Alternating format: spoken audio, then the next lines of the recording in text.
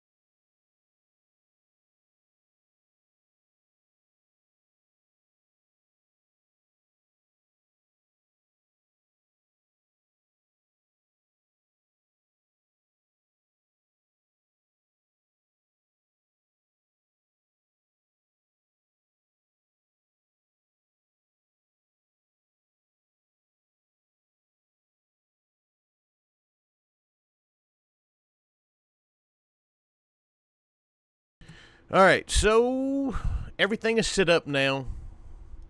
We're ready to see if we can do this. We're going to go ahead and craft two mixers.